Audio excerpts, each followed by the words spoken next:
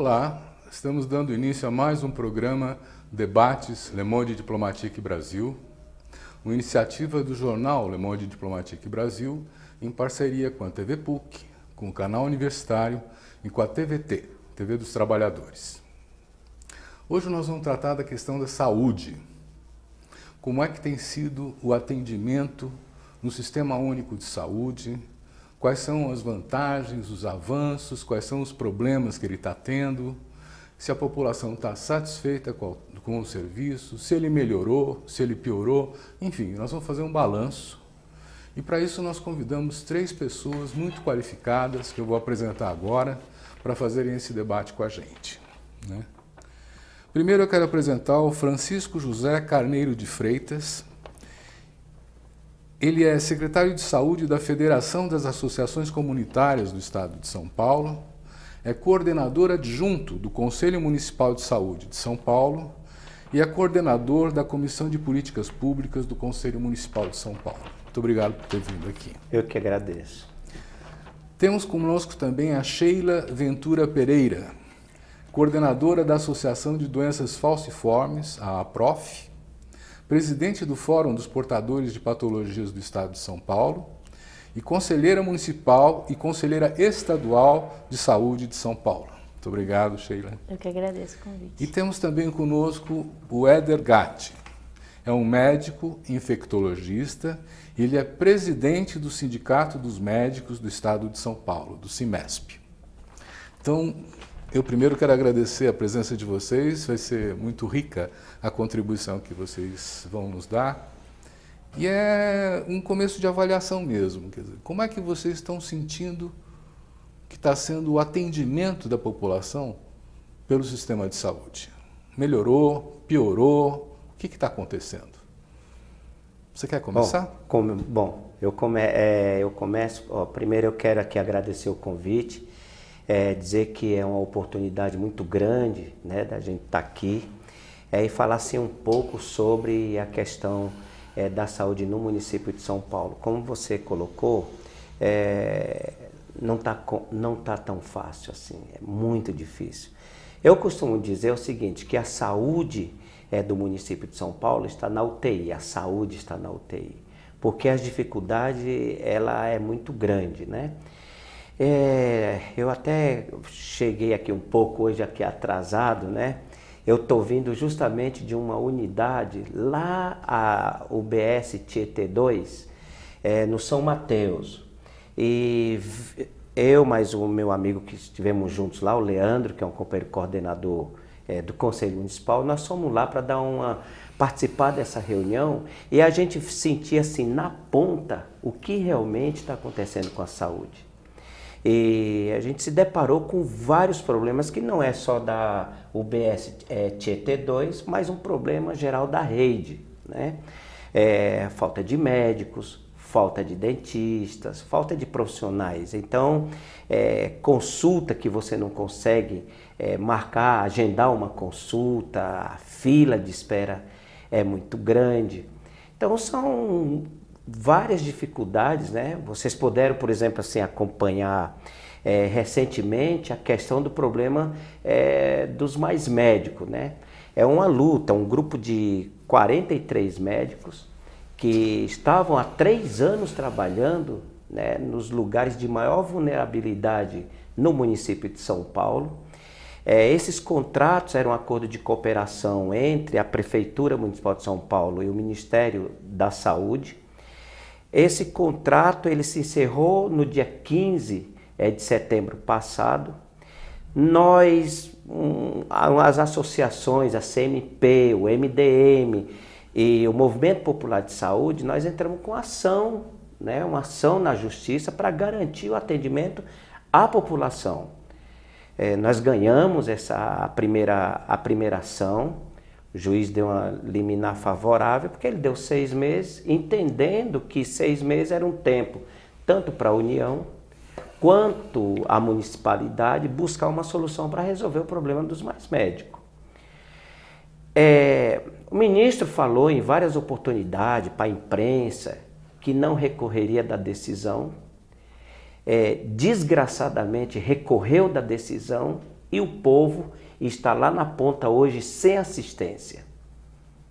Eu estive a, é, essa semana também lá na freguesia do Ó, na, em uma, na unidade Jardim Guanabara. Lá tinha uma médica dos mais médicos, tiraram a médica, inclusive ela tem CRM. Ela poderia continuar a trabalhar, mas eu não sei o que, que passa na cabeça do gestor que ao invés de ele melhorar, buscar, tentar buscar solução, ele complica o problema. Então nós estivemos lá e comprovamos lá na unidade a fila, a falta de médicos. É uma situação que está, é, que chega à, à irracionalidade, né? a irracionalidade. Então são momentos que nós estamos vivendo na saúde e, eu, e o que eu quero dizer com isso é que esses médicos que pararam de trabalhar são médicos jovens, todos eles, com exceção de uma que é casada com um brasileiro, mas essa que tem CRM. O restante são todos brasileiros, formados com o dinheiro do contribuinte no exterior, são jovens, são talentosos, fizeram especialidade de saúde da família na melhor universidade da América Latina que é a Universidade Federal de São Paulo. E esses médicos estão aí parados, a população sofrendo, com, porque isso é dois sofrimento, e o governo não resolve o problema. Vamos continuar o nosso diagnóstico, ouvindo também um pouco o que a Sheila tem para nos contar sobre a situação do usuário do serviço. O que está acontecendo quando a gente vai buscar o serviço de saúde? Olha, boa tarde a todos. Muito obrigado pelo convite. Prazer. E assim, é, enquanto representante das pessoas com patologia, né, que são pessoas com doenças crônicas, depende do funcionamento da rede. E a gente está encontrando profissionais totalmente despreparados, né? Hospitais de referências em algumas patologias que estão sem estrutura nenhuma para receber esses pacientes acabam mandando para a OBS, que também não conhece. Às vezes essa pessoa tem uma doença crônica, degenerativa, tem uma doença rara, que ainda é até difícil de, difícil de diagnóstico. E aí chega, às vezes num momento de crise, num momento de dor, e encontra um, um médico que não tem o acolhimento, não tem o preparo do toque, da escuta, né? Ouvir aquele paciente, qual a necessidade dele as unidades dos hospitais totalmente sem leito, pacientes que ficam dias internados no corredor, né, com risco de pegar outras infecções. E aí a gente não entende, porque assim, você leva para o Ministério Público, você leva para o Ministério da Saúde, né, Secretaria da Saúde, para ver se consegue tomar uma providência e nada é tomado. O que a gente observa são serviços que estão sendo terceirizados, né? E a gente sabe que as OS acabam recebendo um bom dinheiro para que, na, na visão, poderia oferecer um excelente atendimento, né? Reformar as, as UBSs, essas amas, mas não.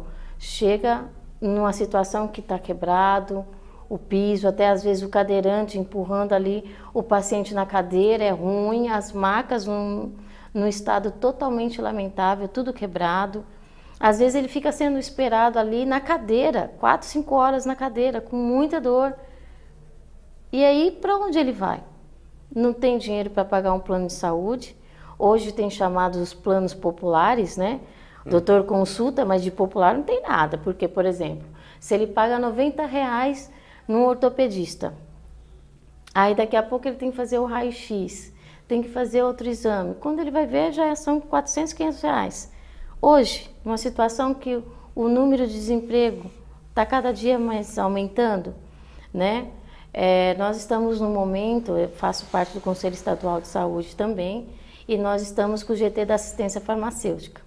Por que foi montado esse, esse GT? É um, um, um GT é, montado com os coordenadores da assistência farmacêutica da Secretaria Estadual, com conselheiros, representantes das patologias e de pessoas com deficiência e outras doenças raras. Porque nós tomamos, né, as pessoas tomam com medicamentos de alto custo. e muitas vezes não são encontrados nas redes e você precisa fazer documentação para ter acesso a essa, a essa medicação. E tem as farmácias específicas. Os medicamentos não estão vindo. Não estão vindo. Não estão vindo. E aí, quando você questiona a secretaria, não é responsabilidade da secretaria. Às vezes foi na, na, na questão de distribuição. Então, a gente tem que ir atrás. Mas o que, é, o que, que acontece? Qual o grande perigo? Uma pessoa com a doença crônica, ela tem um tratamento contínuo. Ela ficar uma semana sem aquele medicamento, todo um tratamento vai por água abaixo, né? Então, às vezes são medicamentos de 4, 5 mil reais, 50 mil reais, e aí acaba faltando, essa pessoa não consegue. Já teve a questão da falta de medicamento para eh, transplante, pessoas que conseguiram fazer o transplante, mas tem que fazer a manutenção daquilo, né, para continuar bem. E aí, se falta medicação, também desanda. Então, dentro do GT da assistência farmacêutica, a gente conseguiu fazer esse diálogo, essa ponte para saber exatamente o que está acontecendo, qual é o público que não está chegando a medicação, para conseguir resolver. Mas são ações muito pequenas, né? Mas enquanto isso, nós estamos perdendo vidas. Eu quando a pessoa não morre, ela fica com sequelas irreversíveis, que a família também acaba prejudicando não só quem fica com aquela sequela, mas toda a estrutura familiar. Queria pedir também que o Éder ajudasse a gente nesse diagnóstico. Perfeito. Como é que os médicos estão vendo isso? Olha, é, eu acho que para ir de encontro com o que foi dito até agora, eu diria que tivemos uma piora significativa do sistema de saúde, só que a gente tem que olhar para um referencial um pouco Isso. mais recente. Eu diria que de 2014 para cá piorou de forma agressiva. Piorou muito, muito, em vários aspectos. Porém, é muito importante que, se nós olharmos para um outro referencial e irmos mais para trás, aí a gente começa a olhar de outra forma. Por exemplo, se nós olharmos para como era o sistema de saúde brasileiro pré-1988, pré-constituição, é, onde a gente tinha um sistema de seguro social, onde só tinha acesso à saúde quem contribuía com a previdência social, e a gente tinha uma enorme proporção da sociedade completamente excluída a qualquer acesso a serviço de saúde, ali nós partimos de um patamar muito ruim. E depois de 1988, com a Constituição e toda a regulamentação que o SUS passou nos anos 90 e os avanços que tivemos nessas duas décadas que passaram, tivemos avanços enormes e isso a gente precisa destacar. Eu diria que o Sistema Único de Saúde foi a principal conquista social que esse país teve nas últimas décadas. Por exemplo, a gente partiu de um cenário onde nós estruturamos um programa de HIV e AIDS que garante acesso a diagnóstico e medicamento para toda a população sem custo algum. No início dos anos 90, nossas crianças tinham acesso a cinco ou seis vacinas no calendário vacinal. Hoje são 18 nossas crianças hoje têm acesso a uma carteira vacinal muito próxima do que é oferecido no setor privado. Na década de 90 e década de 2000, tivemos ampliação da atenção primária, o sistema de saúde se capilarizou é, para todo o território nacional, dando acesso a várias pessoas. Tivemos uma política de transplantes estruturadas, aumento da nossa rede hospitalar. É, enfim, ampliamos acesso, tivemos a criação do SAMU, ou seja, o país avançou muito, avançou muito. Avançou da forma como nós gostaríamos que avançasse? Certamente não. Há várias ressalvas, há várias limitações, houve muita disputa né, na, na, na, criação desse sistema de saúde, só que uma coisa nós temos clareza, de 2014 para cá, estamos andando para trás. Uhum. Tudo que foi colocado, tudo que foi construído está sendo desconstruído. E aí agora uma população que viveu melhoras de condições de vida e um acesso melhor à saúde hoje está sendo privada disso, privado de direitos básicos como emprego, enfim, agora tendo sendo privado também de saúde. Isso é muito recente. Então a gente, a, a população acaba sentindo muito. É, é, o sistema está ruim, o sistema está imperfeito, o sistema tem problemas de acesso, é, porém, assim, é, precisamos lutar pelo Sistema Único de Saúde, porque é, é, ele, ele, ele leva a cidadania às pessoas. É, e seria muito pior sem ele. Então, é porque é, hoje a Sheila falou do avanço do setor uhum. privado e um setor privado que, que não é nada integral, que, enfim, oferece ali consultas a preços baixos, porém não traz a cura, não traz a solução para os problemas. E muitas vezes a classe trabalhadora é, ela acaba sendo seduzida por esse acesso uhum. ao setor privado e se esquece de brigar pelo público. Então a gente Isso. precisa olhar para essas conquistas que nós tivemos de saúde nas duas últimas décadas, brigar para que não só tenhamos acesso ao que a gente já teve alguns uhum. anos atrás, mas avancemos e, não, e que não há nenhuma e que não aconteça nenhum passo para trás. Então vocês fazem parte desse Conselho Municipal de Saúde, né? E é uma das conquistas né, da nossa Constituição de 1988 ter um conselho que inclusive pode uh, deve participar da decisão do orçamento de saúde. Uhum o papel do Conselho, então, se transformou numa questão de funcionamento central de definição de políticas, pelo menos até algum tempo atrás. Né? Dizer, o que está acontecendo com a participação na área da saúde? Ela continua firme e forte ou ela deu uma fraquejada? Não, eu, assim, o que eu vejo, é, na verdade, você está corretíssimo quando aponta que essa é a função do conselho, ou seja, institu institucionalmente, né, nós estamos no organograma né, do Sistema Único de Saúde, então da Constituição de 1988. O problema é, é que quando você tem uma gestão democrática, é, não quero dizer que se resolva tudo, mas numa gestão democrática você tem a possibilidade de dialogar, de conversar, de olha, de avançar alguma coisa. Numa gestão que nós estamos vivendo aqui é uma gestão que chegou com um projeto, né, com um projeto de privatização é, que eles não têm o, o menor olhar para o Conselho Municipal. Muito pelo contrário, é, a gestão, a gestão do, de, do prefeito Bruno Covas já veio no sentido de tentar é, é, é, suplantar os conselhos no município inteiro. Né? Então as pessoas estão é, resistindo. Então o correto, o correto seria, por exemplo, a, a Secretaria Municipal de Saúde chamar o conselho para fazer todo esse debate, para discutir o orçamento, para discutir o plano anual de saúde, para discutir os contratos de gestão. E eles nada fazem, e isso dificulta enormemente para nós, né? É, a gente não tem, por exemplo, dentro do Conselho Municipal, uma assessoria técnica, que é para ter e está dentro da estrutura é, do regimento. Ou seja, a secretaria ela tem a obrigação é, de fornecer as condições para o bom funcionamento do Conselho. Já que o Conselho é um Conselho deliberativo, né, é um Conselho deliberativo e, que, e fiscalizador. Essa é a nossa função. Eu vou dar um exemplo muito, muito recente. Nós tivemos aqui o Pleno Municipal do Conselho no dia 12, agora na quinta-feira, aonde é, nos chegou, não foi através da secretaria, foi através de terceiros que nós ficamos sabendo que a secretaria fez um aditamento nos contratos de gestão com a Associação Saúde da Família há, por cinco anos. Olha, como está o Ed, nós estamos aqui sentados, ninguém vai cair. Isso foi realizado na zona sul de São Paulo, na região sul. O contrato com essa associação foi de 400 milhões de reais. Com uma única associação, 400 milhões de reais. Ou seja, em cinco anos você coloca aí 80 milhões de reais por ano.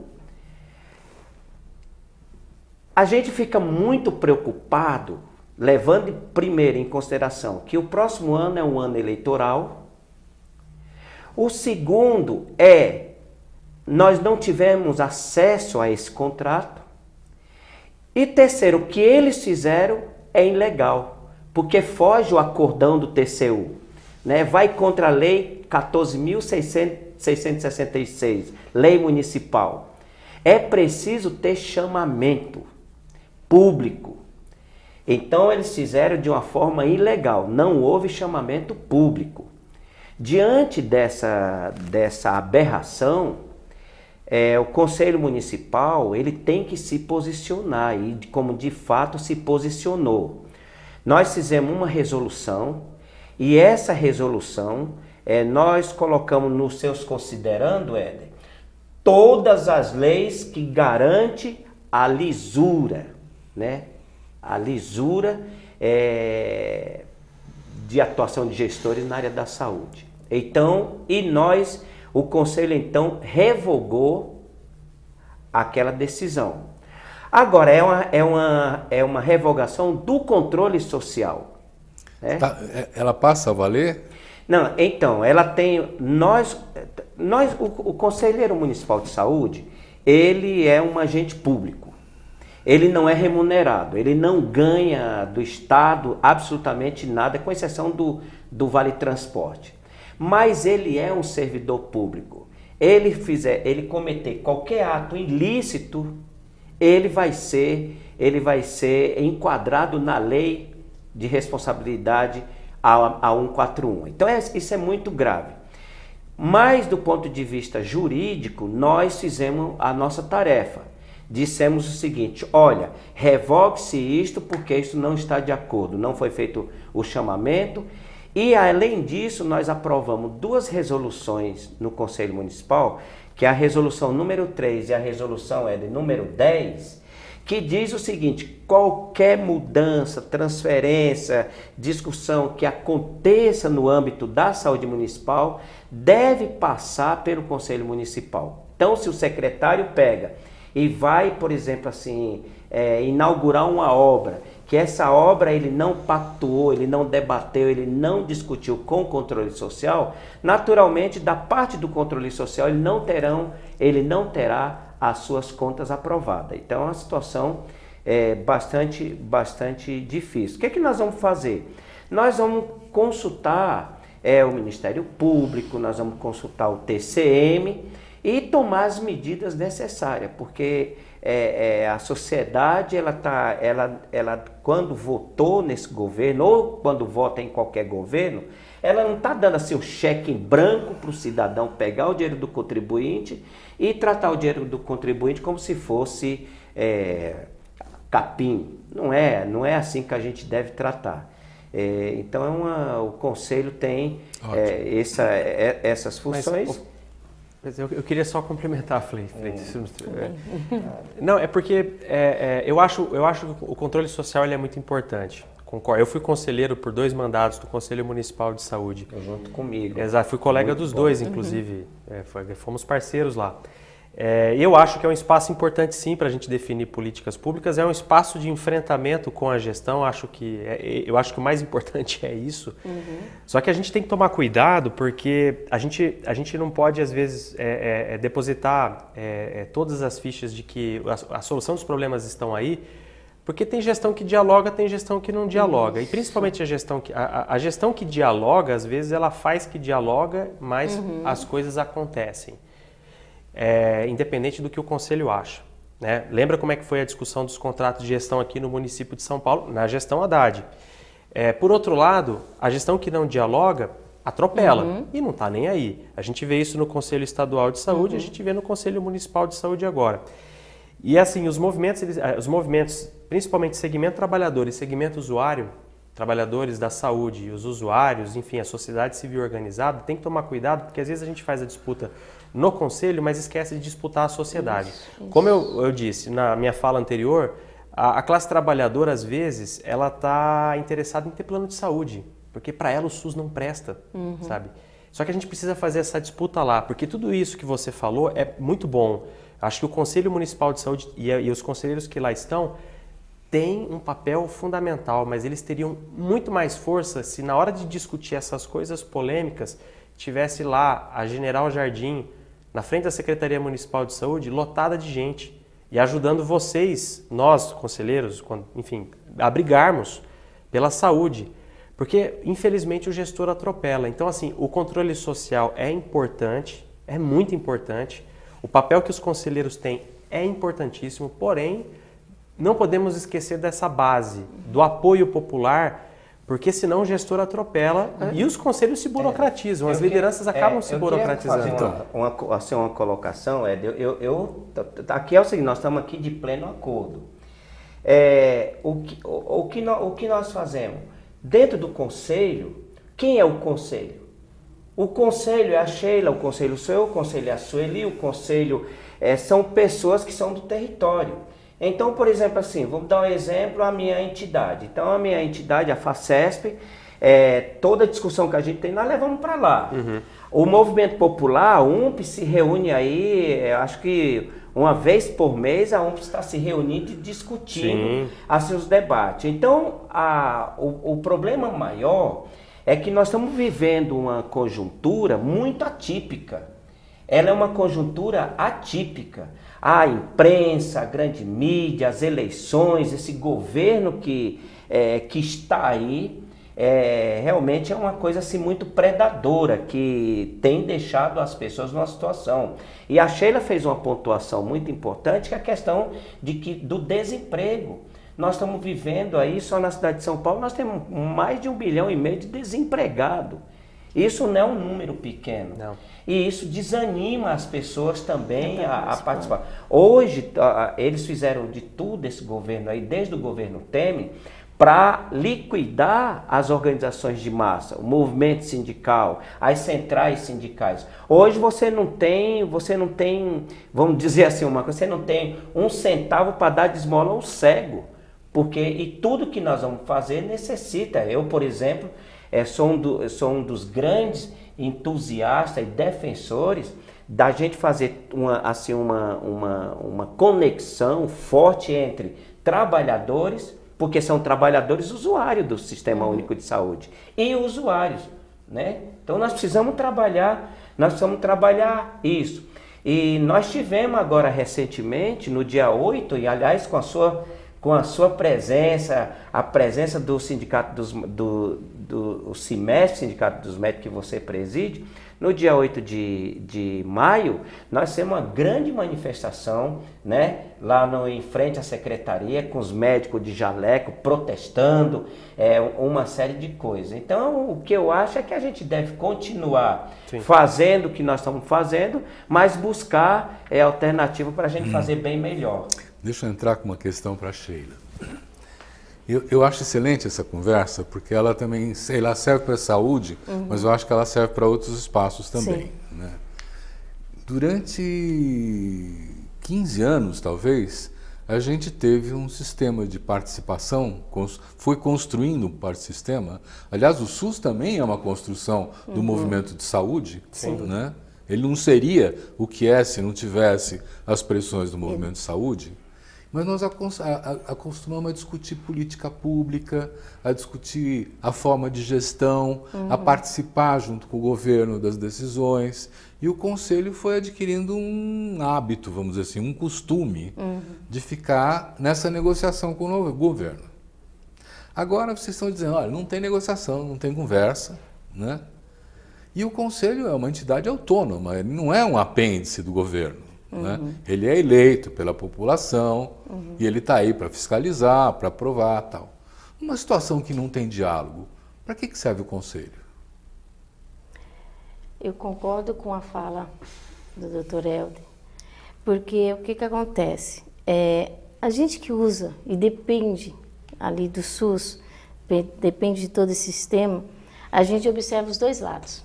Tanto a situação do médico, quando a gente fala, né, que um hospital às vezes tem um médico para atender a população inteira de um bairro.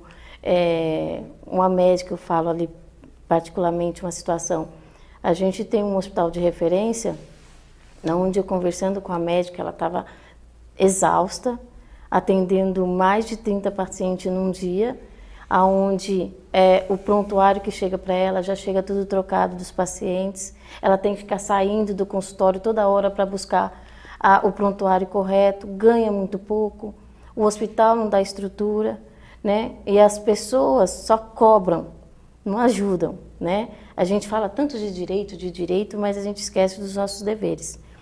E o que, que a gente observa dentro dos conselhos? Realmente, quando tinha o diálogo, foi estruturada as redes de atenção, a rede de cuidado, os pacientes conseguiram, teve uma época que os pacientes conseguiram é, dialogar com o Ministério da Saúde, fazer grupos de trabalho onde era composto com gestor, usuário e trabalhador, né? chegar ali no consenso qual a melhor forma, vamos melhorar os protocolos de atendimento, vamos melhorar a rede.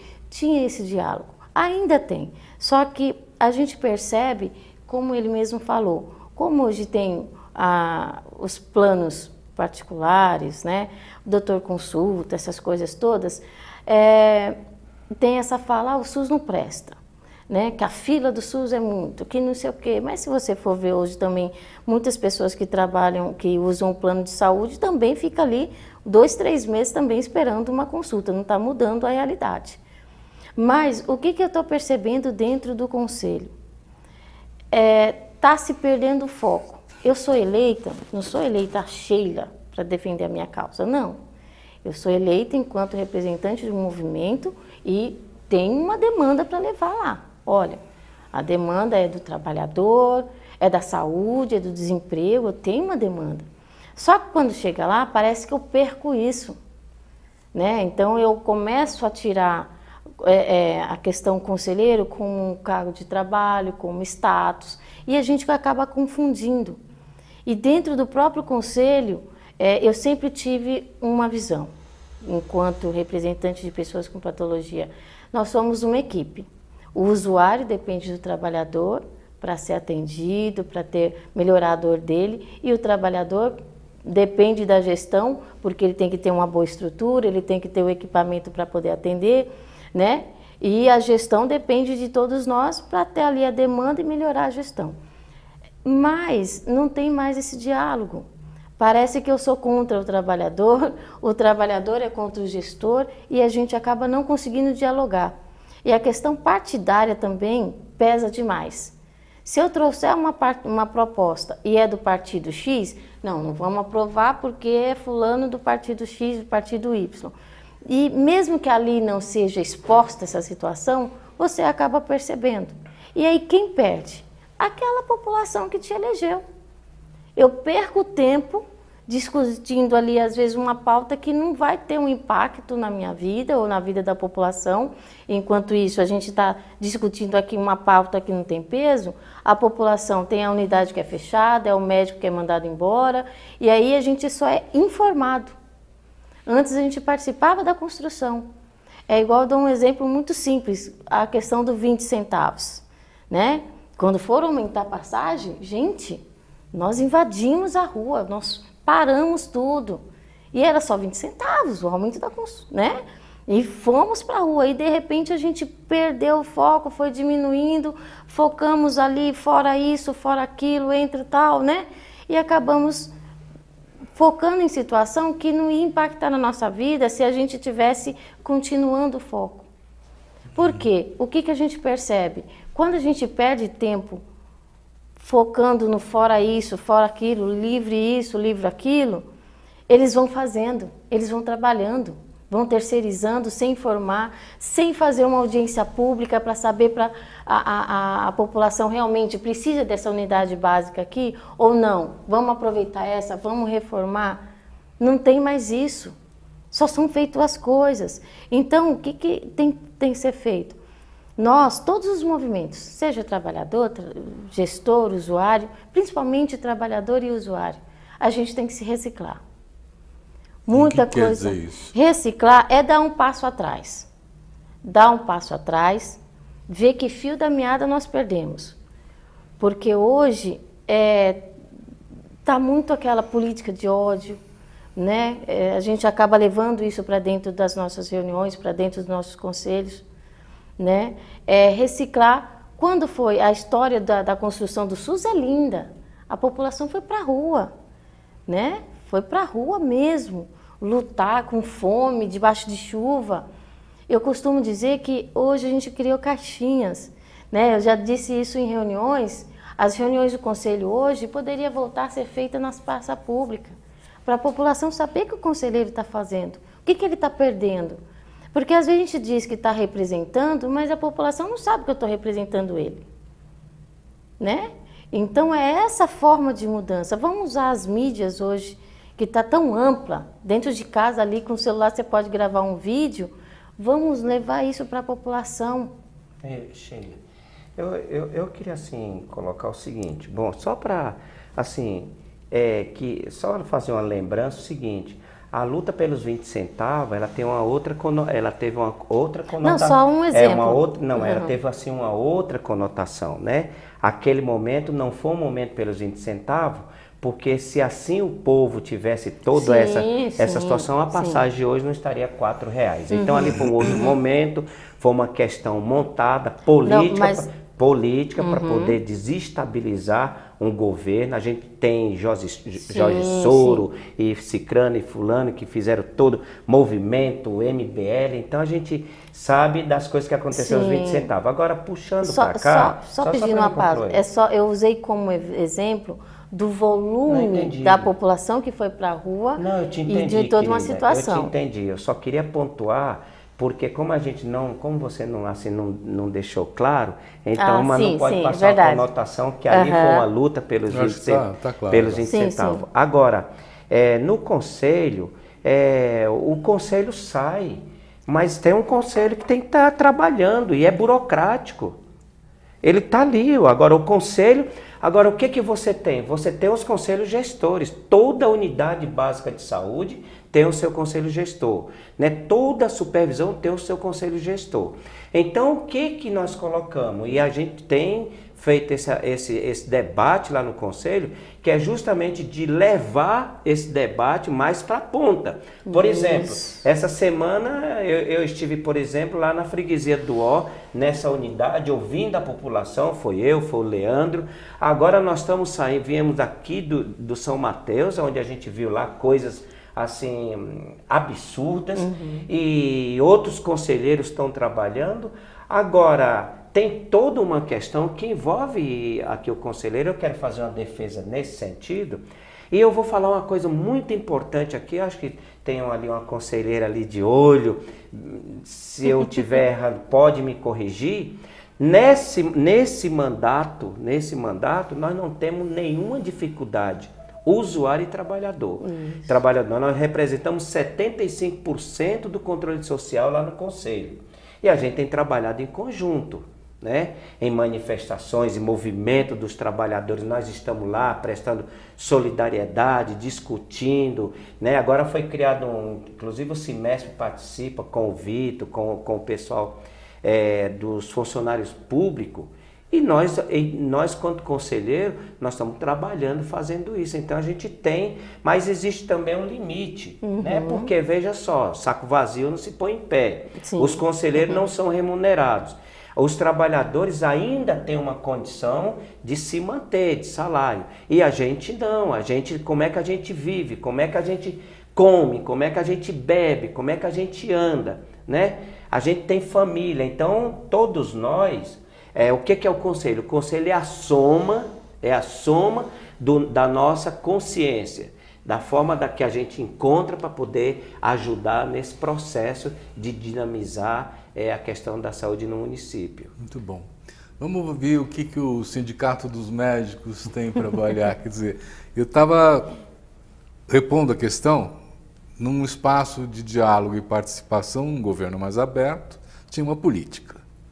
Agora tem um outro governo que tem um outro, uma outra disposição de não diálogo. O que, que o sindicato como é que ele reage a isso? Uh, olha, o Conselho Municipal, o Conselho Estadual, os espaços do controle social do SUS, eles são importantes, eles devem ser Sim. disputados e a disputa lá dentro entre, entre os segmentos deve acontecer para que as políticas andem, certo? Uhum. Eu não tenho dúvida disso. Também. Porém, olha, eu, consigo dar vários exemplos considerando a atuação dos sindicatos médicos de São Paulo. E recentemente mais do que antes, a gente tem sido procurado com demandas cada vez mais absurdas vindas dos colegas. A gente tem desde problemas como o que está acontecendo no município de São Paulo, de hospitais onde o número de médico está tão baixo que está causando uma sobrecarga dos colegas e colocando a população em risco de desassistência. Né? A, autarquia hospitalar de, do, a autarquia hospitalar do município de São Paulo está cheia disso e os colegas estão nos procurando. Precisa de contratação. Essa é a principal demanda. Precisamos uhum. de novos colegas, de reposição profissional para fazer os serviços andarem. É, a gente tem demandas mais absurdas ainda. Por exemplo, o município de Guarulhos terceiriza todo mundo com, com, com uma relação de trabalho extremamente precarizada, pejotizada e dá calote. Calote virou regra, então colegas estão trabalhando sem receber. Uhum. Ou seja, essas são as demandas é. que nos procuram, sabe? E sempre que eles nos procuram, a gente sempre tem um protocolo a seguir. Porque é, é, é essas situações absurdas gera desassistência, coloca a população em risco, a, a, a, fere o código de ética, porque não há condições mínimas para exercer a medicina, muitas vezes. Então a gente sempre cumpre o protocolo. Olha, a gente precisa comunicar o gestor, a gente precisa comunicar o Conselho Regional de Medicina, a gente precisa comunicar o Ministério Público do Estado. Quando dá para entrar na justiça, a gente entra. Tem que comunicar o controle social, Conselho Municipal, Conselho Estadual, enfim, tem que atirar para todos os lados. Uhum. Só que muitas vezes estas instituições não andam na velocidade que a gente precisa, não andam na velocidade que a população precisa. Uhum. Então, muitas vezes a gente precisa dar um empurrão. Então, sempre que a, sempre que a demanda vem para a gente, a gente sempre organiza os colegas e fala: olha, a única saída é ir para o enfrentamento. Ainda mais na conjuntura atual. Não tem jeito. Uhum. Tem, que, tem que pressionar gestor público, tem que ir na frente da Secretaria Municipal, tem que ir na frente da Secretaria do Estado. E se der até para paralisar as atividades, bem, na medicina isso é muito complicado, porque quando a gente para, a gente coloca as outras pessoas em risco. Uhum. Mas a gente precisa fazer essa pressão. Ora, o médico, ele é muito é uma categoria relativamente pequena frente à, à demanda social que ele está envolvido. Então, nessas horas, o que, que a gente faz? A gente procura apoio de outras categorias. Por exemplo, nas mobilizações que a gente tem feito na autarquia hospitalar municipal, a gente procura outra categoria, por quê? Porque a falta de, de, de médico vem junto com a falta de enfermeiro, com a falta de farmacêutico, com a falta de técnico de enfermagem, falta de administrativo. Ou seja, o problema do sistema não é do médico, ele é de todos. E não tem como. A gente precisa procurar os movimentos populares, ou seja, vai atrás de associação de moradores, associação de, de é, é, movimentos sociais de saúde, movimento de moradias, movimentos de feministas, enfim, vários movimentos sociais que dependem daqueles serviços. Diante disso, a gente cria um substrato social que permite a gente ir para a luta. Porque não dá para. É o que a gente sempre fala para os colegas médicos. O secretário de saúde sabe que o hospital está ruim. Sabe, não adianta a gente ficar mandando ofício para o uhum. governo. Adianta, tem que mandar? Tem. Uhum. Cumpre o protocolo? Cumpre. Só que vai resolver? Não uhum. vai, porque os caras estão careca de saber uhum. que a coisa está ruim. E está ruim porque eles querem que esteja ruim. Explica melhor isso. Por que, que eles querem que esteja ruim? Olha, é o seguinte. Uh, eu, eu, eu acho que assim, o, o SUS ele nunca foi financiado de forma adequada. Mesmo quando a gente tinha uma situação fiscal mais tranquila é, é, é, no país, com, enfim, com uma, uma, uma, condição econômica melhor, a gente tinha a DRU, que arrancava dinheiro da, da, da Seguridade Social. DRU é...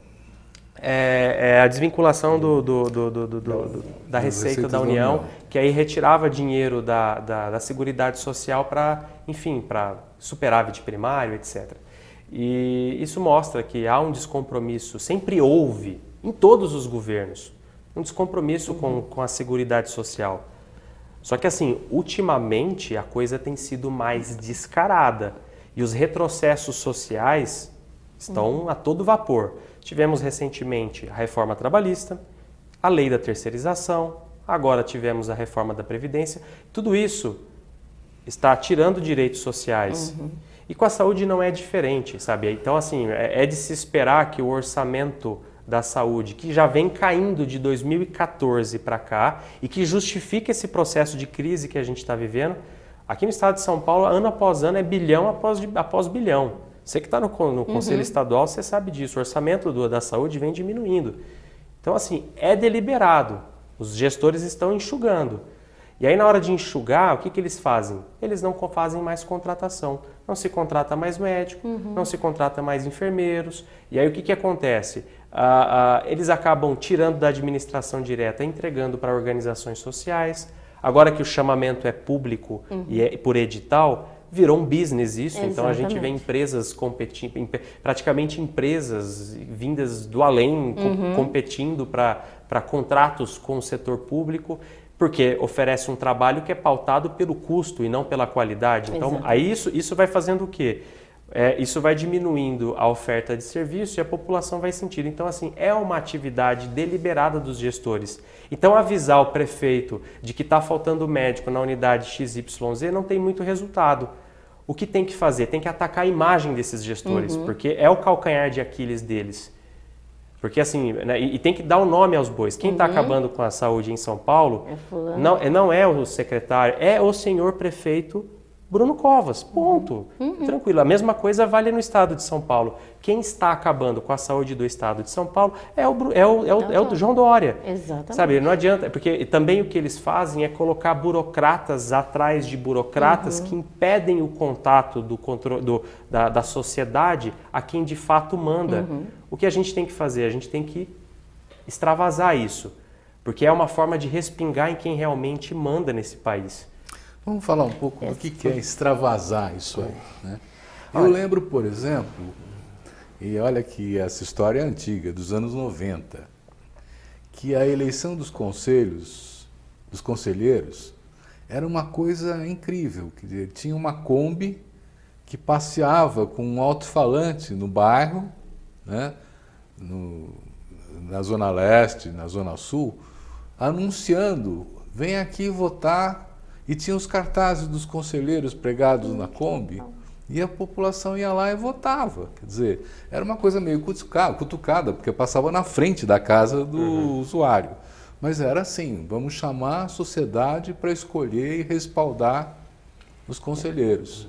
Né? Eu, eu queria, é, eu acho muito legal isso aí, até por uma questão do saudosismo, daquela forma como a, que a gente tinha, assim, né, de é, de atuar nos territórios tal, e a dificuldade que parece quanto mais dificuldade, mais a gente estava lá e enfrentava, mas eu queria voltar na questão que o Éder pontuou, da questão do orçamento do município. Hoje, por exemplo, São Paulo tem a, a, o município de São Paulo, a Secretaria Municipal de, de, de Saúde, ela tem o segundo maior orçamento, orçamento do município. Primeiro a prefeitura, segundo a secretaria. Então, em torno de 12,6, 12,8 bilhões. Então, não é pouco dinheiro, Éder. É muito dinheiro.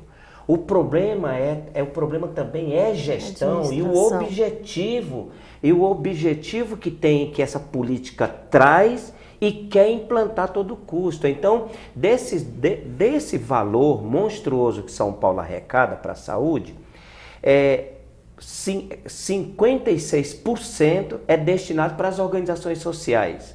Como eu falei lá no começo, eles fazem uma, um aditamento e joga, por exemplo, 400 milhões para uma para um, qual é a contrapartida disso, uhum. né?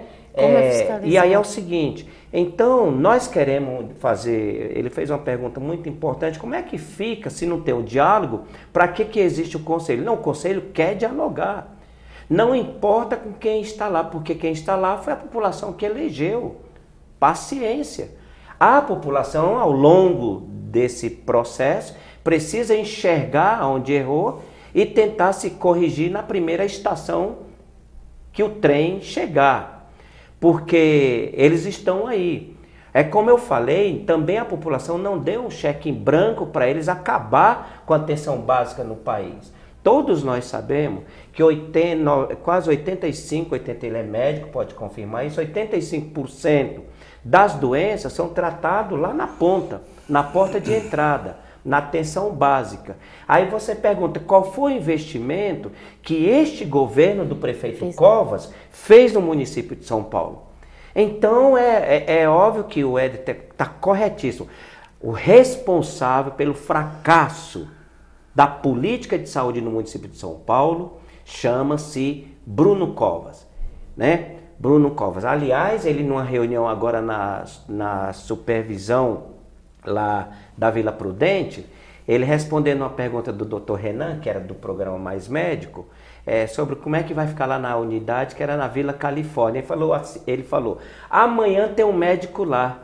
Que legal, olha que eficiência. Só que ele pegou um médico, tirou de uma outra unidade Mascarenha de Moraes e colocou lá no lugar. Então isso porque o doutor Éder sabe que nós temos um déficit só no município de São Paulo de quase 2 mil médicos.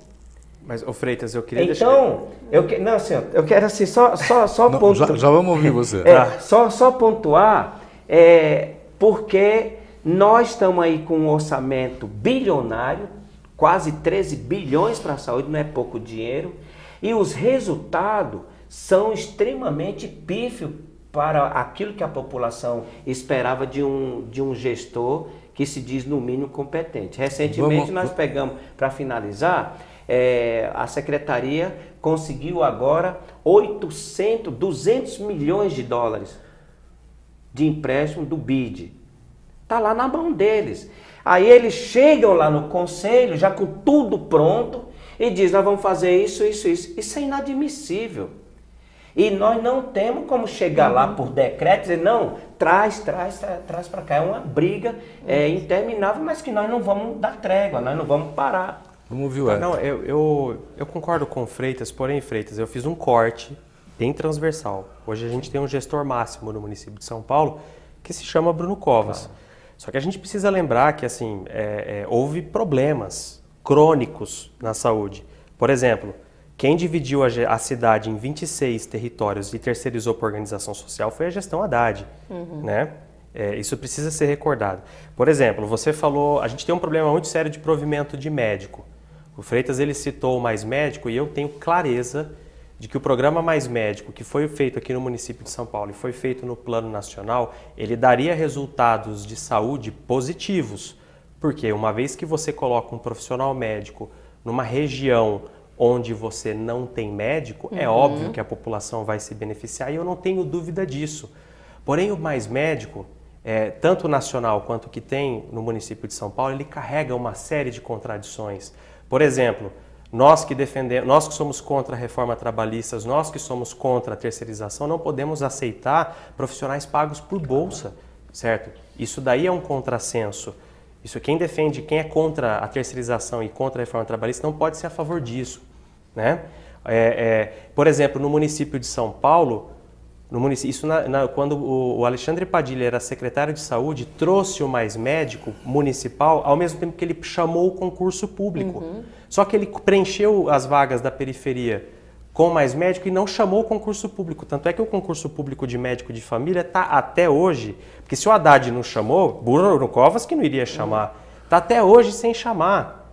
Então, assim, eu acho que nós que lutamos pela saúde precisamos, antes de brigar pelo mais médico, que o Simesp, inclusive, deu apoio para os colegas, Sim, olhando o lado humano, inclusive, claro, porque claro. esse pessoal vai ter que ir embora, sabe? Eles não são revalidados, vão ter que ir embora.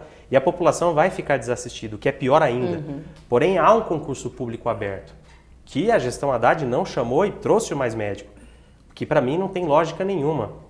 Então, assim, a pressão tem que ser agora, já que perdemos, já que não tem mais médico, é que a prefeitura contrate médico, médico CLT, e melhor, ou que chame esses profissionais que estão concursados e não foram chamados uhum, até agora. Verdade. Porque veja, não adianta a gente brigar por uma política pública que foi feita para dar errado.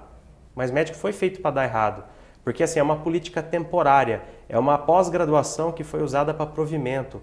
Sabe, ele tinha tudo para dar errado. E assim, é complicado porque colocaram colegas médicos formados no exterior em uma condição muito precária. Precária assim, ele só tinha aquilo para trabalhar. Eles não têm mais a oportunidade de revalidação e são colocados em unidades é, é, é, onde eles não têm opção de trabalhar em outro lugar. Uhum. Então acho que a gente tem que ter clareza de que assim existe um problema atual. Existe um problema atual. O problema atual tem um responsável, que é o gestor que está agora.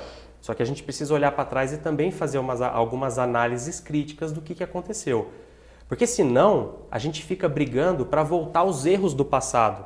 E a gente não tem que lutar pelos erros do passado, a gente tem que uhum. brigar para melhorias pelo nosso futuro. Tá, Ou seja, é, tem que ter concurso é, público para colocar médico lá na ponta. Uhum. Mas eu queria fazer uma, uma colocação, é, por exemplo, assim, quanto usuário, do ponto de vista da minha consciência, eu tenho claro tudo que você está colocando. Uhum. O problema é que o usuário, na sua essência, na sua essência, o usuário, aliás, eu costumo falar isso, né, Sueli? Eu pergunto assim: olha, é, quando, quando fica essa briga OS e, a, e administração Sim. direta, usuário, eu costumo perguntar assim, olha, meio. quando o É, usuário chega na exato. porta de uma unidade hospitalar ou numa unidade básica de saúde, ele pergunta, ele está morrendo e pergunta, olha, aqui o que que é direta ou é indireta? Não, ele não vai fazer essa Exato, pergunta, exato. ele quer resolver o seu problema e o Estado tem que dar é, resposta para isso.